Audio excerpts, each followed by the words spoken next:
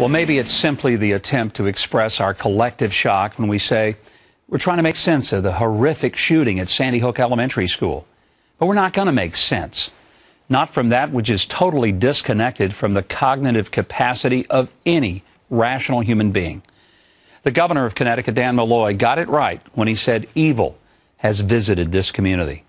President Obama, in an emotional statement from the White House, spoke more as a parent than a politician and he quoted the Bible to bring comfort to the nation. Churches were filled in Newtown, Connecticut last night as candlelight vigils were held to grieve for the 27 innocent people killed and the countless lives of those shattered by a few seconds of crazed carnage. On Friday, Neil Cavuto asked me, Where was God? And I said that for 50 years, we've systematically attempted to have God removed from our schools, our public activities, but then at the moment we have a calamity, we wonder where he was.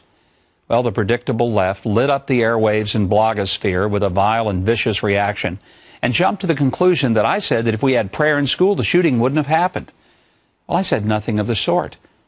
It's far more than just taking prayer or Bible reading out of the schools. It's the fact that people sue a city so we aren't confronted with a manger scene or a Christmas carol that lawsuits are filed to remove a cross that's a memorial to fallen soldiers. Churches and Christian owned businesses are told to surrender their values under the edict of government orders to provide tax funded abortion pills. We carefully and intentionally stop saying things are sinful, and we call them disorders. Sometimes we even say they're normal. And to get to where that we have to abandon bedrock moral truths, then we are asked, well, where was God? And I respond that as I see it, we've escorted him right out of our culture and we've marched him off the public square. And then we express our surprise that a culture without him actually reflects what it's become. As soon as the tragedy unfolded, I think God did show up. He showed up in the lives of teachers who put their lives between a gunman and their students. He showed up in policemen who rushed into the school not knowing if they would be met with a barrage of bullets he showed up in the form of hugs and tears for children, parents, and teachers who had lived through the slaughter. He showed up at the overflow church services where people lit candles and prayed. And he showed up at the White House, where the president invoked his name and quoted from his book.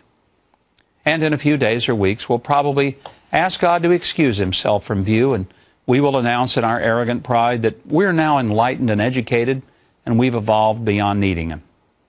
And somebody's going to suggest that we pass a law to stop all this kind of thing. I might want to point out that we don't have to pass a new law. There's one that's been around a while that works if we teach it and observe it. Thou shalt not kill. Oh, there are about nine others, but to tell you about them would require bringing God back, and we know how unacceptable that might be. Let's go back.